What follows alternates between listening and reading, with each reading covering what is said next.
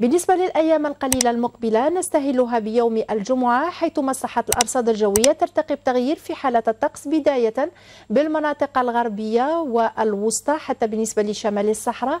إذا بعض الأمطار الرعدية تكون مرتقبة على كل هذه المناطق تكون أكثر استمرارية نحو الهضاب الوسطى والغربية المناطق الشرقية تبقى في مأمن خلال الليل بحول الله احتمال تساقط بعض الثلوج نحو القمم الوسطى والغربية.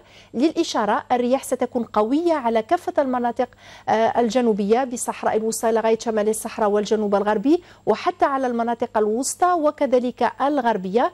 درجات الحرارة تعرف انخفاض خلال يوم الجمعة بالجهة الغربية. تبقى مرتفعة بالمناطق الشرقية قبل أصول الاضطراب الجوي.